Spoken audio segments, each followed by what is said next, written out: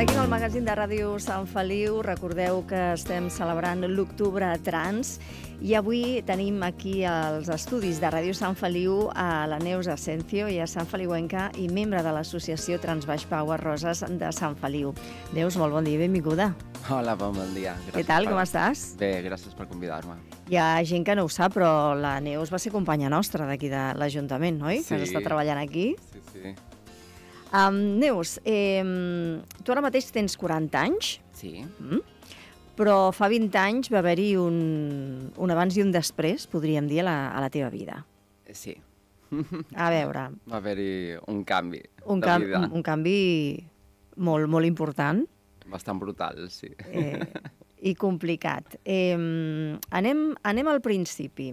Eh, quan vas néixer, eh, diguem-ne que el teu cos no acompanyava el, el, el gènere no? que, que tu senties. Sí, el meu cos m'acompanyava uh, a- amb la meva essència, perquè la Mhm. meva essència és femenina, el meu ser també és femení, però el meu cos no, no ho era, era més aviat masculí. Uh -huh. I, bueno, doncs durant la trajectòria de la meva vida, jo ja des de ben petita ja sentia de que jo era diferent als altres nens i nenes, que no... Dic, ui, què passa aquí, no? Per què no em sento igual que els altres nens i nenes? Ho, se- ho senties tu o, o t'ho feien sentir els altres? Ho sentia jo i m'ho feien sentir els altres, Mhm. també. Perquè allà va començar el bullying. A partir dels 7 anys aproximadament, allà ja va començar un bullying, no massa heavy, Uh -huh. però sí va començar allà. Uh -huh. És a dir, no et senties eh, acceptada no? Mm, dins de, de la classe o de... No, no ho estava. Uh -huh. I- Era, era bastant difícil poder connectar... Bueno, connectava més amb les nenes, això sí, però sí que és veritat que era una nena una miqueta solitària Uh -huh. i a l'hora del pati poques vegades mm, jugava amb les nenes, perquè era jugar amb les nenes i hi havia insults.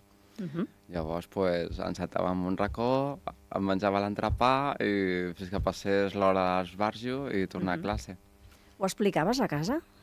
Sí, però en aquella època era, era bastant diferent a com és ara. Ara hi ha més inclusió, eh, intenten protegir molt més els nens, però en aquella època era diferent. Era, ah, són coses de crius i ja se'ls hi passarà.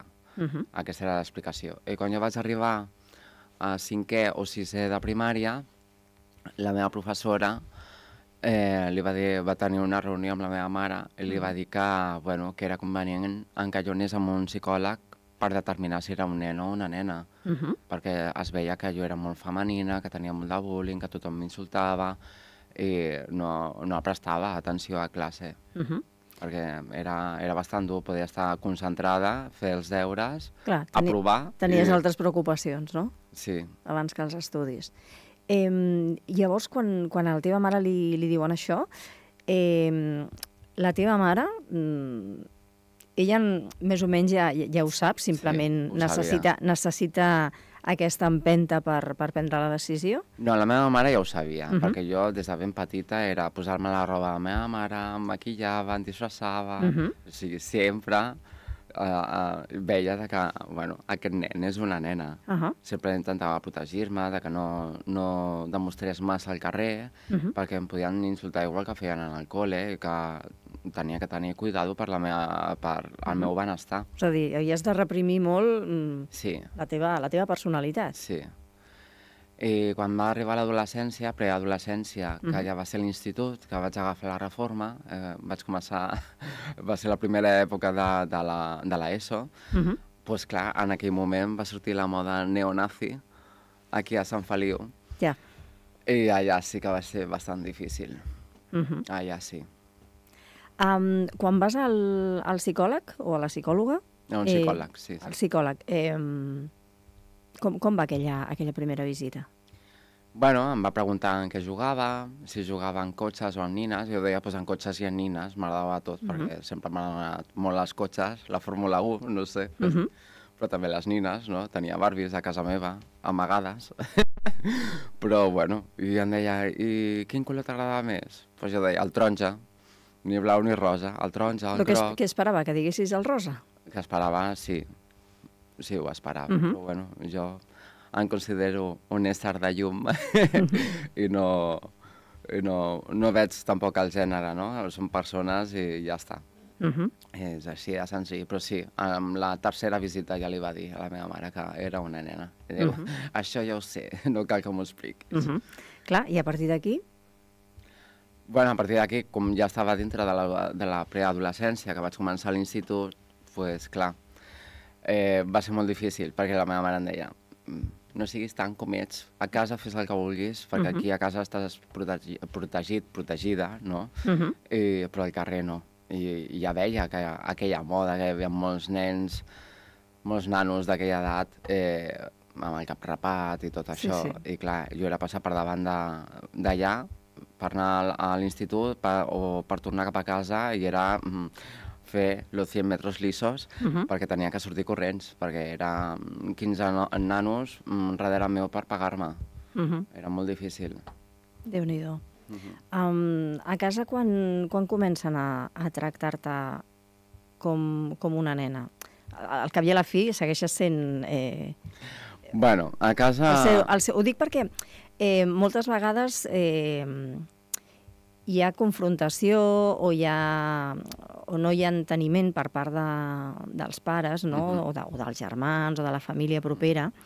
Um, clar, una cosa és que, que ho rebutgis, que això és el que, el que hauríem d'anar treballant, i l'altra cosa és que, clar, a tu et canvien una mica els esquemes, no? És a dir, tu has, has parit un nen i, i de cop i volta mm, aquest nen tu veus que, que, que no, que no és un nen, que és una nena. Llavors, tot aquest canvi mm, ha, de, ha de ser difícil també per, per una mare, no?, o per un pare. Bueno, per la família sí, és una miqueta xocant, però igualment, en, en el meu cas, no, a la meva mare no li va donar temps eh, a Mhm. veure'm canviada, però sí que em, em tractava, quan estàvem a casa, més com una nena, perquè ho veia, no? Clar. I em deia, bueno, com vols, com vols que et digui? Jo, com una nena, deia uh -huh. ja. que era, es reia, no? Però deia, bueno, quan siguis gran, si realment ho tens clar, jo t'acompanyaré quan siguis major d'edat a, a Mhm. que puguis fer tot el canvi. Jo t'acompanyaré sempre. Per desgràcia no la tinc uh, físicament, ja va morir fa 25 anys, però sempre la sento com m'acompanya. Uh -huh. Però bueno, sí que va ser una miqueta xocant, sobretot per al meu tiet, no? Perquè a casa érem la meva mare, el meu avi, el meu tiet i jo. Uh -huh.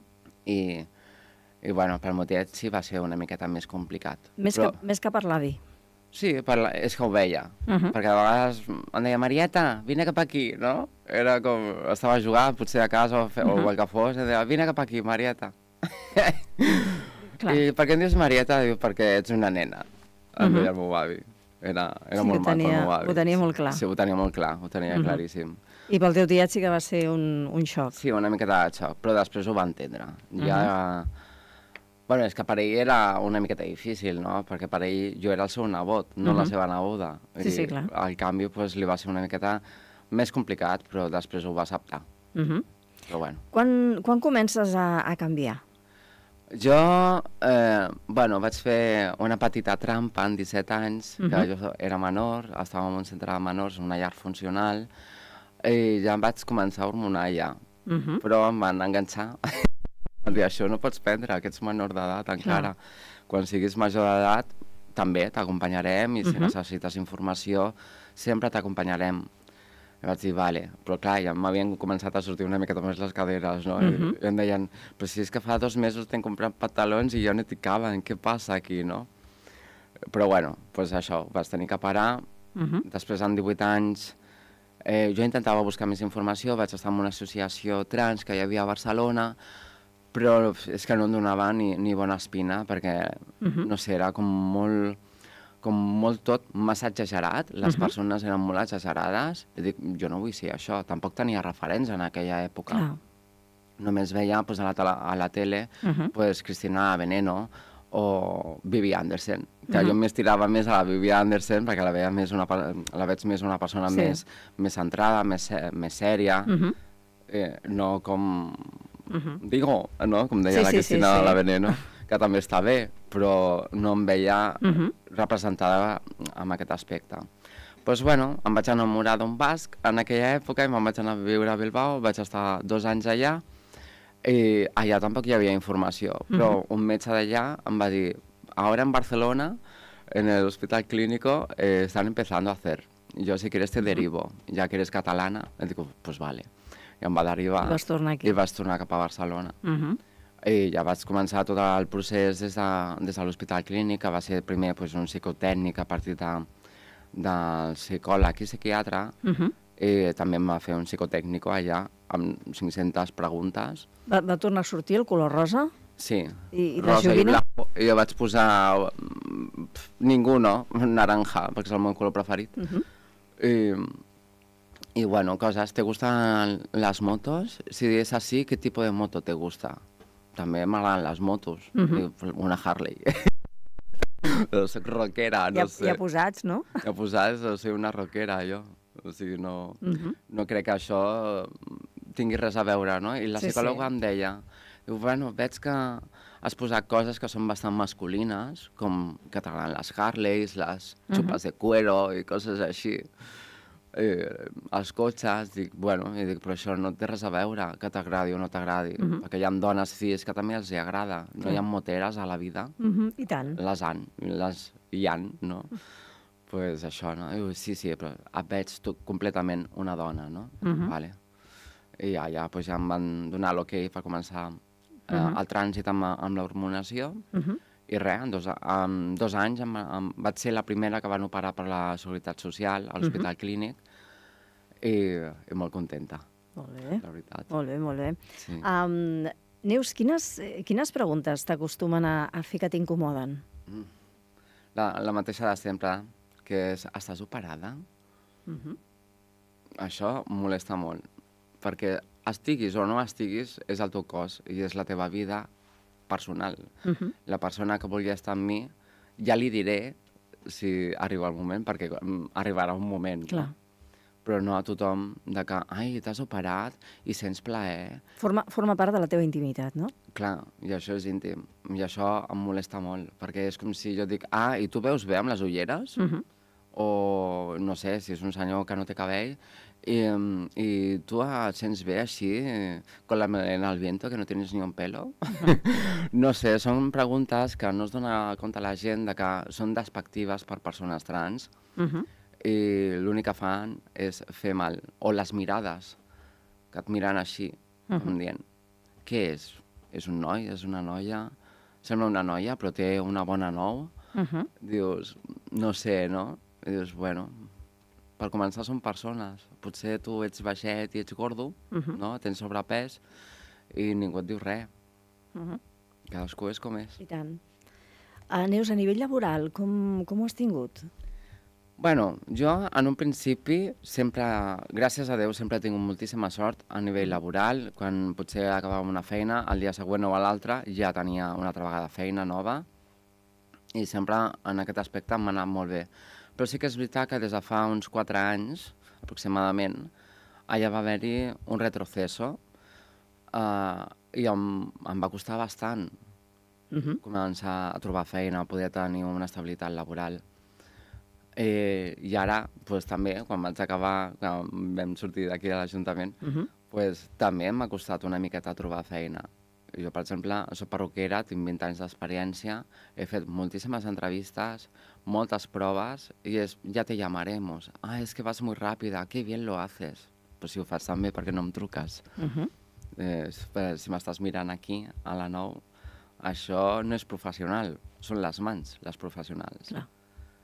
I és com, què ha passat aquí? Ha habido un Mhm. retroceso a nivell de les persones o, o què és el que ha passat? A més, és curiós que passi en un, en un sector com el... La, la és, perruqueria. com, com és l'estètica, no? La, la Sí, perruqueria. per sorprèn, és- sorprèn encara Sorprèn moltíssim perquè és el que aca- acabo d'explicar, mai he tingut problemes amb aquest aspecte. Mhm. Sempre he, he tingut feina, o sigui, sortia d'un lloc i el dia següent tenia feina. O, o em trucaven les perruqueres per dir, quiero Sí. que vengas tú a trabajar porque conozco a tu jefe. Uh -huh. y me han dicho que lo, trabajas muy bien. I ara és, què ha passat, no? Uh -huh.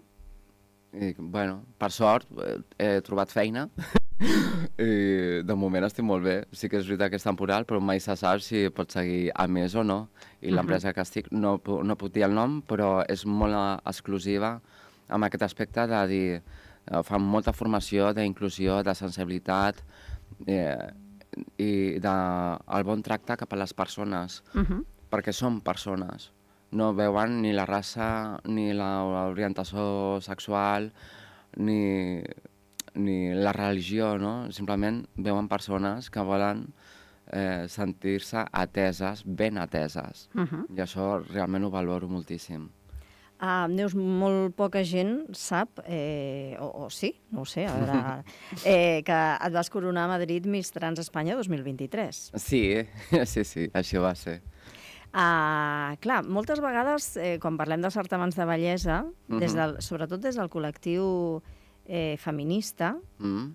Inclús persones que no pertanyen al col·lectiu feminista, però que són dones, eh, veuen aquest tipus de certàmens amb, amb moltes reticències. Eh, consideren que la dona doncs, eh, se la veu com, com un objecte, no? Mm, s'està premiant, en certa manera, la, la bellesa, és a dir, un aspecte banal, perquè, a veure, allò que diem, no?, típic, Mm. que importa és l'interior i al, i al I final tant. és així, no? És el que Sí, sí. queda. Eh, Quan passen els anys el que queda és això, no? Uh, i, mm, I en canvi, eh, tu vas decidir presentar-t'hi, Mhm. però jo vaig llegir eh, en una entrevista que deies la corona és un compromís d'activisme. En certa manera, sí, perquè en aquest cas ens presentem dones trans. Llavors, t'esforces deu vegades més. Uh -huh. No és un certamen cis, que és algo més, més senzill, no? Que té, també té la seva part una miqueta més durilla en sentit de que has, has de fer una passarel·la ben feta, has de mostrar eh, els teus dons davant d'una càmera o davant d'un jurat per determinar si series una bona reina, no?, en aquest aspecte. No és només reina de, de bellesa, sinó tot el que tens tu darrere o tot el que portes tu treballat a nivell interior i exterior. Uh -huh. Que, eh, mira, m'ha tocat a mi, però podia haver sigut qualsevol altra Mhm. persona que ha sigut activista 100% en aquest aspecte, no? Uh -huh. I és com trencar una miqueta el patró de la bellesa eh, que està a, establert a la societat, no? Has de fer 90, 60, 90, ten- i no, no és així, no, no, no és només una bellesa externa, sinó és interna sobretot. Uh -huh. Quins són els teus valors? Com et mostres al món? Uh -huh. uh, Neus, eh, el fet de guanyar uh, Miss Trans Espanya 2023 et va permetre eh, ser la representant no? al, al concurs internacional Queen eh, Trans World. Sí. Um, quan coincideixes amb, amb persones que han passat eh, situacions similars a la teva, evidentment tothom ho ha passat d'una manera diferent, Uh -huh. Uh, per les seves circumstàncies i també per, per com, per com s'ho pren, però quan, quan estàs envoltada de gent de, de, tot, de tot el món no? que, que, que té una cosa en comú amb, amb tu, no? una experiència en comú amb tu, Mm. um, notes moltes, moltes diferències? És a dir, eh, realment eh, aquí a, al nostre país mm, som bastant, podríem dir, ah, com et diria, a veure... Tolerants? Sí, no m'a- no m'agrada la paraula tolerància, no, ja, perquè a mi és, tampoc. però Inclusiva? sí, sí, potser podríem parlar més d'inclusió, sí. Bueno, sí que he de dir que el nostre país ha canviat molt durant Mhm. els anys, gràcies a Déu. Sí que veig que hi ha bastanta inclusió, però és que no es, no es tracta d'incluir a ningú, perquè ja existim, Mhm. estem aquí. Som 8 milions de persones en el món i tots existim i sobre gustos colores. Llavors, sí que en representació de les altres persones que es van presentar al Queen Trans World, sí que eh, compartim el mateix, no? Són persones que han sofrit molt a, la vida, que ens hem esforçat 10 vegades més que les altres persones Mhm. i sempre estem en constant lluita a nivell laboral, a nivell social i a nivell polític. A més a més de la part emocional Sí, que ens sí. afecta, que és això com mm, es veuen com un objecte de, bueno, em, clar, si estàs operada, eh, és com que, ah, bueno, eres, ho diré així de malament, eh? Eres un agujero con patas y no tienes sentimientos y te voy a utilizar porque me das morbo. O si no estás operada, pues aún me das más morbo porque me quiero sentir sometido por una mujer. con pene, Uh -huh. vale? ho dic així. Sí, sí, sí, sí. Uh, no ho passin per horari infantil, si plau. Però és així, o sigui, realment no estan mirant la, la part emocional, la gent no, no està sent empàtica amb les persones del col·lectiu. Uh -huh. Per nosaltres som empàtiques amb totes les persones. Ens toca ser, mm, ens toca treballar uh -huh. l'empatia, els valors, el, el, el, que realment és el que, el que s'ha de valorar, Uh -huh. el respecte cap Sí, a sí. totes les persones. Neus, eh, el teu activisme no només passa per presentar-se, per exemple, a un concurs de bellesa, sinó que, que també, com dèiem, estàs a l'associació Transbaix Power Roses de, de Sant Feliu. Uh -huh. Um, és important eh, tenir aquests vincles, eh, eh, fer, fer força, fer Sí. força entre totes Sí. eh, i reivindicar, I tant, reivindicar sí, sí. tot La allò unió- que encara... La unió fa la força. Uh -huh. I el divide y venceràs ja no, ja, no, ja no ens acompanya. Però tant a nivell d'activisme com per altres àmbits de la vida, mm, la unió fa la força, Mhm. ens hem d'unir. I en aquest cas, Transbaix Power de- Roses de Sant Feliu és un gran referent a, a nivell d'unió a l'hora de treballar en equip per poder reivindicar i poder treballar els valors de les persones trans i de que realment ens sentim incluïdes dintre de la societat, dintre de, del món laboral i de qualsevol altre àmbit. Allà uh -huh. sí que hi ha bones reines per poder portar un, un gran activisme. Uh -huh. Això sí que és cert, perquè treballen molt dur, la veritat, uh. -huh. treballen molt dur. Doncs Neus Asencio, eh, recordem, Sant Feliuenca, membre de l'associació Transbaix Power Roses de Sant Feliu. Moltíssimes gràcies per explicar-nos la teva història en, en pocs minuts. Gràcies perquè, a vosaltres per, per convidar-me. Jo sempre estic encantada de venir. i nosaltres de que vinguis. Doncs eh, que, vagi, que vagi tot molt bé. Moltíssimes gràcies.